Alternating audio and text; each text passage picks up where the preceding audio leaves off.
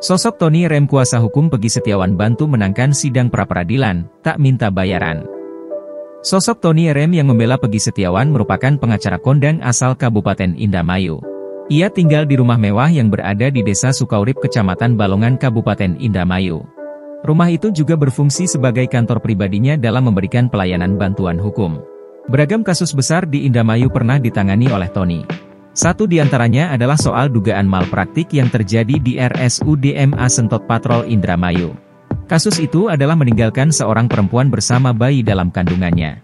Peristiwa yang terjadi pada Desember 2023 itu sempat viral dan menjadi sorotan masyarakat. Kasus besar lainnya yang juga ditangani Tony adalah soal aksi bejat ayah dan kakak tiri yang berbuat tak senonoh ke korban sejak kelas 3 SD di Indramayu. Ayah dan kakak tiri itu sekarang sudah berhasil ditangkap oleh pihak kepolisian. Tony juga pernah menjadi kuasa hukumnya Rita Amelia Beta, ibunya artis Nagita Slavina, atau mertuanya Raffi Ahmad saat melawan Malinda di yang pernah terjerat kasus penggelapan dana nasabah Citibank tahun 2011 pada 2018. Kasusnya adalah masalah utang dan sengketa bisnis properti. Dalam kasus itu Tony berhasil memenangkan Rita.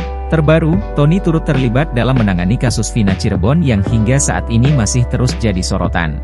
Setelah menjadi kuasa hukum pergi bersama 70 pengacara lainnya, Tony pun terlihat all out melakukan pembelaan.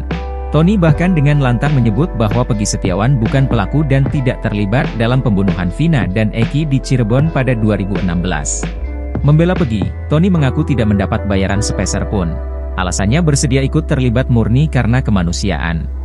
Saya awalnya sempat ditawari cuma sempat saya tolak. Nanti dulu masa saya mau bela pembunuh, ujar Tony, Kamis, 13 Juni 2024. Tony menceritakan, setelah menolak tawaran itu ia kemudian berinisiatif melakukan penyelidikan sendiri. Hingga akhirnya mendapat banyak saksi-saksi yang menguatkan bahwa Pegi saat kejadian pembunuhan itu terjadi sedang tidak berada di Cirebon melainkan di Bandung.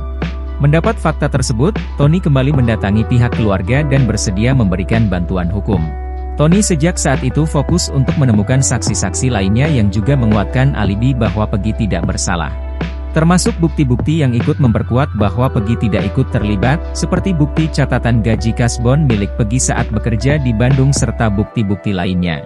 Terbaru dalam upaya membela Pegi, Tony bersama tim kuasa hukum tengah menyiapkan semua yang dibutuhkan untuk menghadapi gugatan pra-peradilan.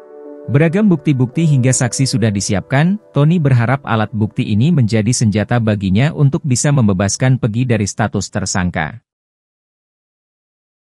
Download Tribun X sekarang. Menghadirkan lokal menjadi Indonesia.